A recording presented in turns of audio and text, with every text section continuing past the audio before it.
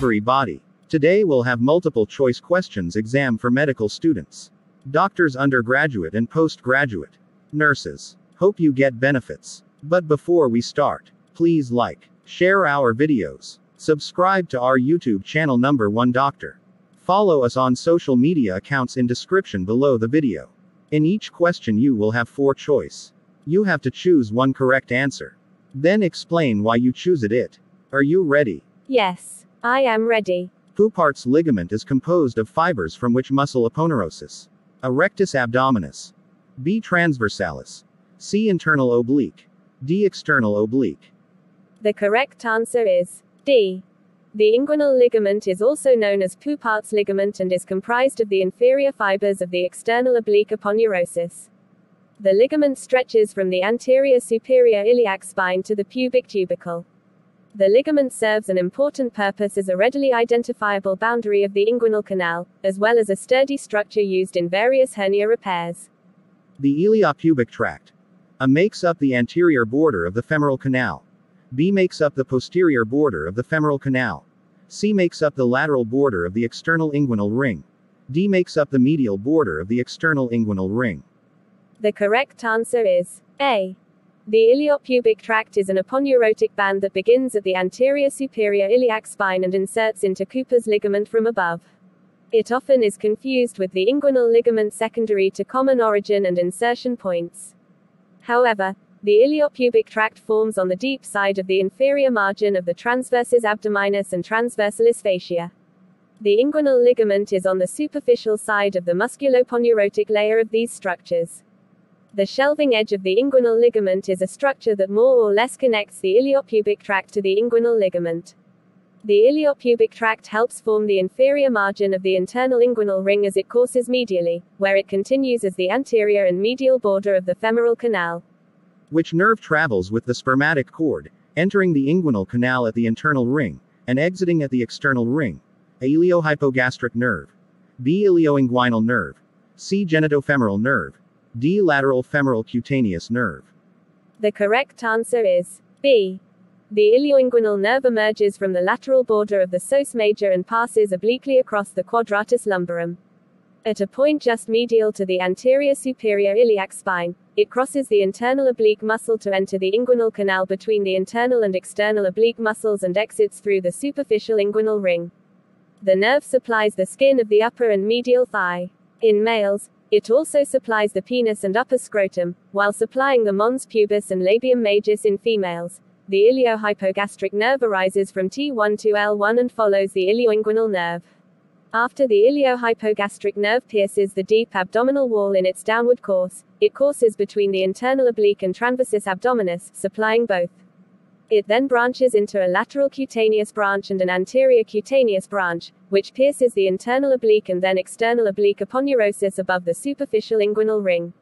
A common variant is for the iliohypogastric and ilioinguinal nerves to exit around the superficial inguinal ring as a single entity. The genitofemoral nerve arises from L1-L2, courses along the retroperitoneum, and emerges on the anterior aspect of the psoas. It then divides into the genital and femoral branches.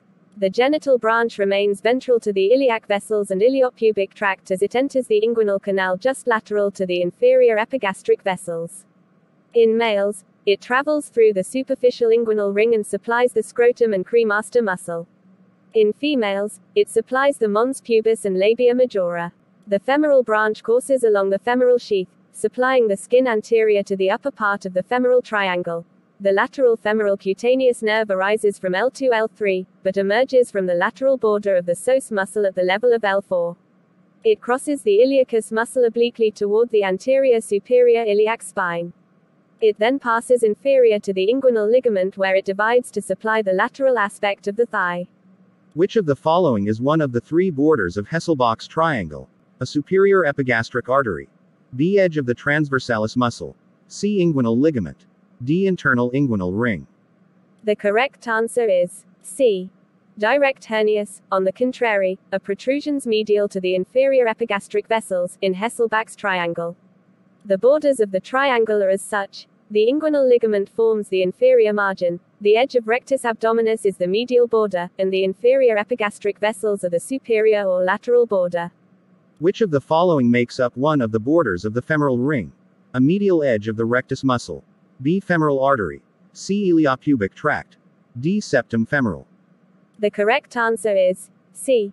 The femoral ring is bordered by sturdy structures that lend to its inflexibility. The posterior boundary consists of the iliacus fascia and Cooper's ligament, and the anterior boundary is the iliopubic tract and inguinal ligament, internally and externally, respectively. Medially, the border is made up of the aponeurosis of transversus abdominis and the transversalis fascia and laterally, the canal is bordered by the femoral vein and its connective tissue. Normal contents of the femoral canal include areolar preperitoneal tissue and fat and lymph nodes, most notably the node of Cloquet at its upper end. The distal end of the canal is closed by fatty tissue called the septum femorale. Once the integrity of this septum is lost, femoral herniation occurs. In performing a laparoscopic hernia repair, which of the following potential spaces is entered? A Prussak's space. B. Bogros's space. C. Space of Disse. D. Space of Traube. The correct answer is B. Two potential spaces exist deep to the peritoneum, and these are encountered once the peritoneal flap is created. Between the peritoneum and the posterior lamina of the transversalis fascia is Bogros space. This area contains preperitoneal fat and areolar tissue. A less prominent space exists between the posterior and anterior laminae of the transversalis fascia termed the vascular space, as this is the location of the inferior epigastric vessels. The space of Disse is in the liver, Prussak's space is in the middle ear, and Traube's space is in the left upper abdomen. What percentage of adult patients with a unilateral inguinal hernia will have an unrecognized contralateral hernia? A 7%. B 14%. C 22%. D 39%. The correct answer is C. In a study examining only patients with primary unilateral inguinal hernias, 22% were found to have an occult contralateral hernia during laparoscopic inguinal hernia repair. Although asymptomatic at time of diagnosis, these hernias have the potential to become clinically significant as the patient ages. Which of the following disorders is associated with an increased incidence of groin hernias? A Down syndrome. B. Osteogenesis imperfecta. C. VACTERL association. D. Biliary atresia. The correct answer is B. Osteogenesis imperfecta is a connective tissue disorder and is associated with an increased risk for groin hernias. Collagen disorders such as Ehlers-Danlos syndrome also are associated with an increased incidence of hernia formation.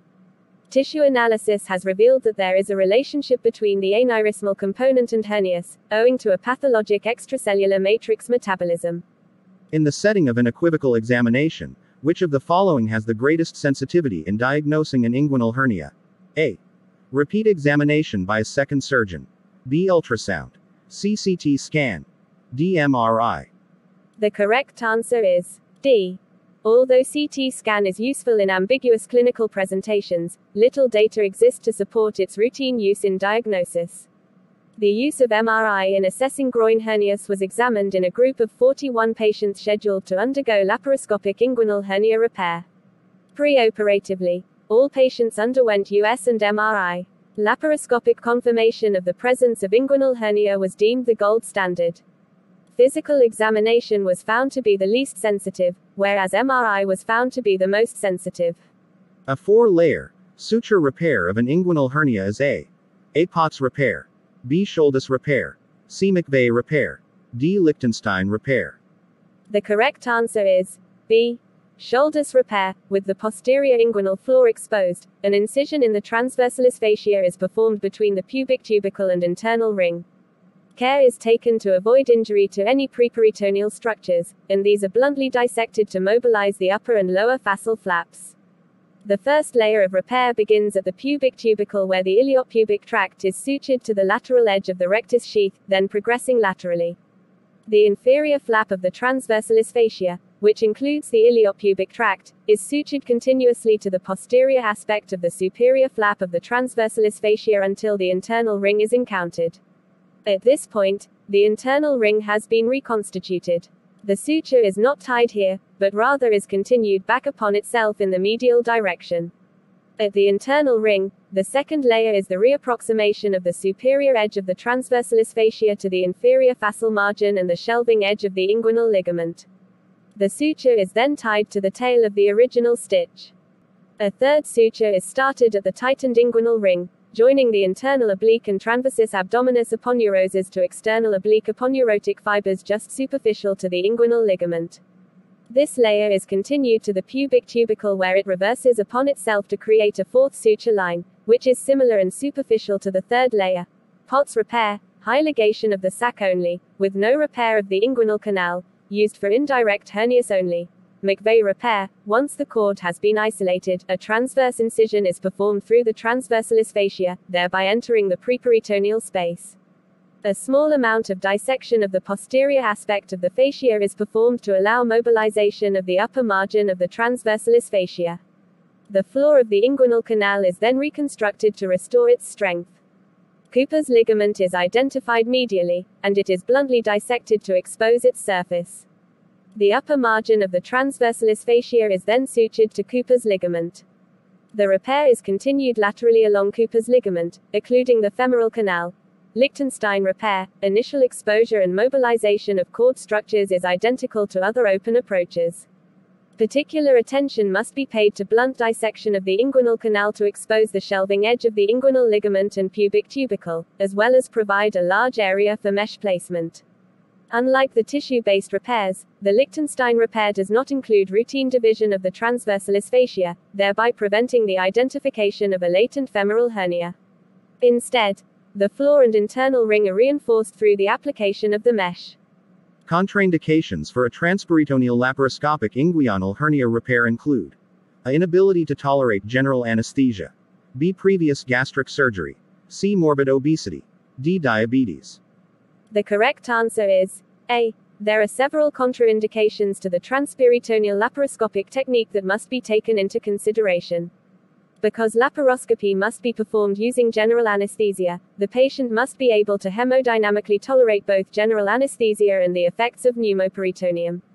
As well, previous lower abdominal surgery, such as prostatectomy, or lower midline incisions for other abdominal procedures, are a relative contraindication to a laparoscopic approach secondary to the presence of scarred tissue in the preperitoneal space.